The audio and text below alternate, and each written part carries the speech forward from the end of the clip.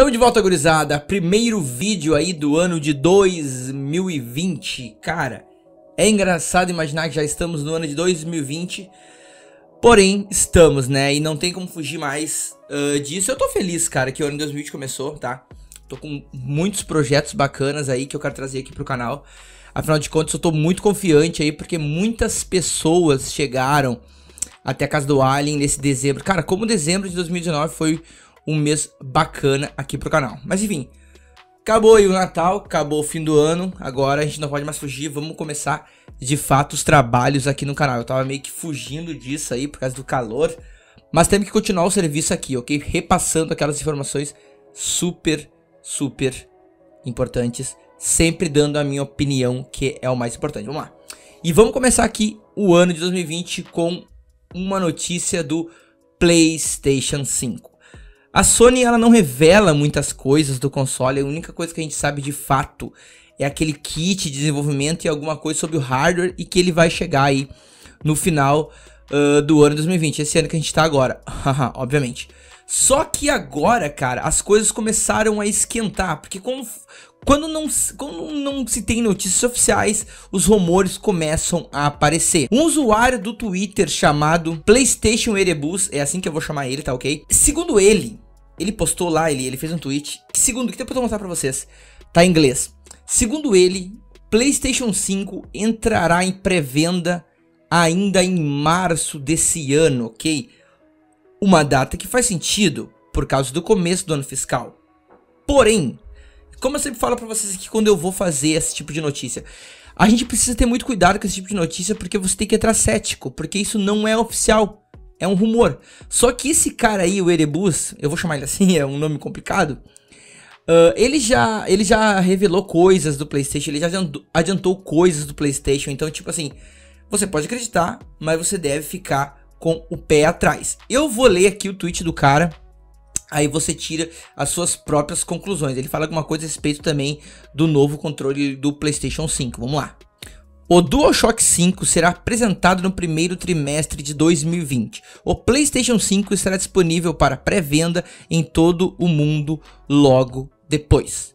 Bom, dois pontos aí. Vai ser apresentado primeiro, segundo ele, o controle e depois o PlayStation 5. A partir dali, ele vai estar tá disponível em pré-venda em todo mundo. Só que isso aí já tá aí uma coisa errada nessa história aí. Porque, tipo assim, eu, eu tenho com certeza disso que o PlayStation 5 ele não vai sair uh, na mesma data para todo mundo. Eu não sei se. Acho que no Brasil sai depois, inclusive.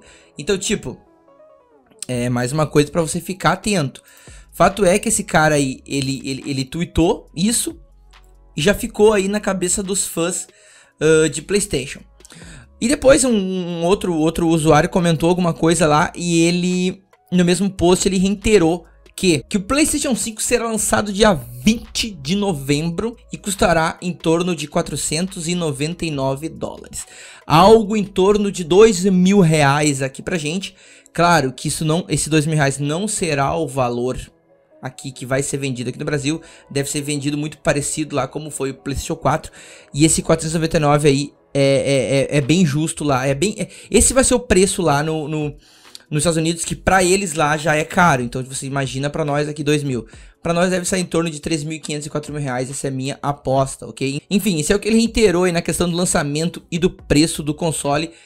Que chega, né, obviamente, lá pro Natal uh, dos americanos e pra nós também, obviamente. Quem tiver bala na agulha pra gastar grana e comprar o PlayStation 5, fica à vontade, ok?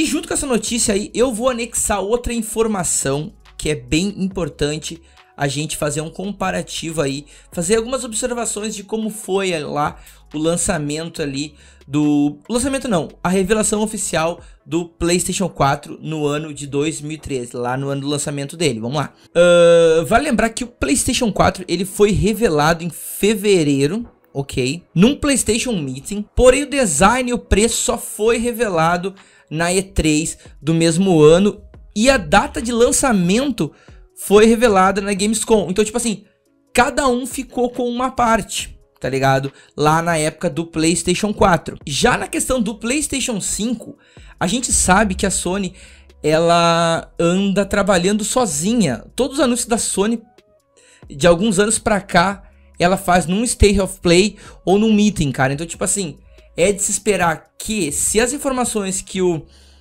que o Erebus ali, vou chamar ele assim de novo, volto a dizer que eu vou chamar ele assim porque o nome dele é complicado. Se confirmarem, vai ser no State of Play ou num PlayStation Meeting, como foi lá o caso do PlayStation 4, ok? Essa, na minha opinião, agora eu vou finalizar aqui com a minha opinião. Eu acho que as, essas informações que ele passou, elas são quase reais, tá ok? Só que eu sempre quando eu vejo isso, eu tenho a impressão que quando vaza a empresa, no caso a Sony, ela não, não, o cara vazou, então vamos trocar, entendeu? Mas para muito perto disso. Então a gente tem que ficar atento aí nos próximos dias, nos próximos, no primeiro trimestre em si, sobre essa questão aí do da pré-venda do PlayStation 5, ok? Para finalizar aqui, vale lembrar que PlayStation 5 deve sair no final de 2020 e ele ainda não tem data de lançamento, ok? Enfim, gurizada, eu, esse foi o vídeo de estreia aqui no primeiro vídeo do ano 2020, né? Vamos falar, falei de PlayStation 5. E já quero agradecer também, cara, todo mundo que chegou, cara. Foi muitos inscritos, muito obrigado. Dezembro foi maravilhoso para mim. Então eu já tô começando os trabalhos, sabe vocês que já estão aí comigo ao mesmo tempo e esses que já chegaram, ok? Galera, vou ficar por aqui. Não esqueça de comentar aí embaixo o que, que, você achou desse assunto. Será que é verdade esse vazamento? Será que realmente, de fato, o rapaz aí tá certo? Não sei, né, cara? Minha opinião é que ele tá meio certo, ok? é mais fácil assim, ok? Sem ficar em cima do muro. Vou ficar por aqui. Não esqueça de likezinho, inscrever no canal, compartilhar o vídeo e ativar o sininho para receber notificações de vídeos novos. Tô ficando por aqui. Até a próxima. Foi. Tem algumas novidades que eu devo fazer um vídeo para falar, hein? Bacana. Tchau. Tem a ver com o Dinocris. E live.